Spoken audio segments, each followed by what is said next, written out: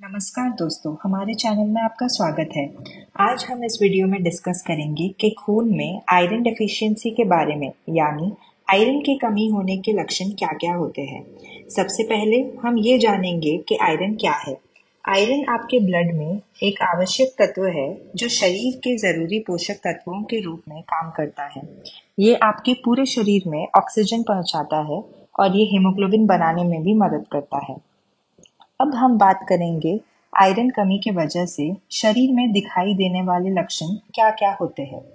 जब भी हमारे खून में आयरन की कमी होती है तो इंसान में थकावट और कमज़ोरी महसूस होती है।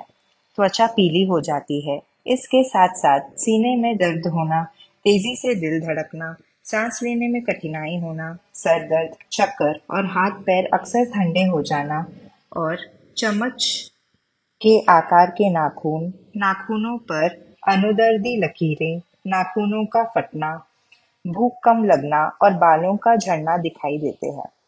अब हम मुँह में दिखाई देने वाले लक्षण के बारे में बात करेंगे। जैसे कि मुँह में, मुँह के कोने पे दरारें आना, मुँह में छाले होना और जीभ में दर्द होना। अब हम बात करेंगे आयरन डिफिशियंसी के क्या कारण हो सकते हैं। पहले जैसे औरतों को महावरी के टाइम पेट में छाले आए वक्त और थोड़े रोग जैसे हाइटल हर्निया और कोलोन पॉलिप हुए जब। दूसरा अपने आहार में आयरन की कमी होने कारण शरीर में भी आयरन की कमी हो जाती है। इसलिए हमें आयरन रिच फ़ूड खाना चाहिए जैसे कि हरी सब्ज़ियाँ, अंडे ड्राई फ्रूट्स जैसे बादाम किशमिश अखरोट और मांस का भी प्रयोग करना चाहिए।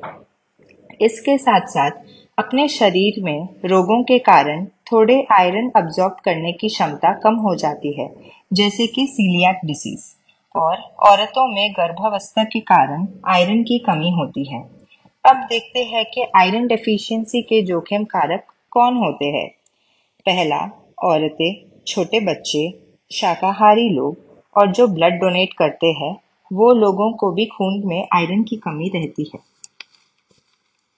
हम आयरन की मात्रा पता करने के लिए थोड़े टेस्ट करवा सकते हैं, जैसे CBP complete blood picture haemoglobin test blood iron test और फेरेटिन टेस्ट अगर हमें आयरन की कमी है तो डॉक्टर्स कम से कम हमें तीन से छह महीने तक आयरन सप्लीमेंट्स लेने को कहेंगे और गंभीर मामलों में ब्लड ट्रांसफ्यूजन भी करवाने की आवश्यकता पड़ सकती है।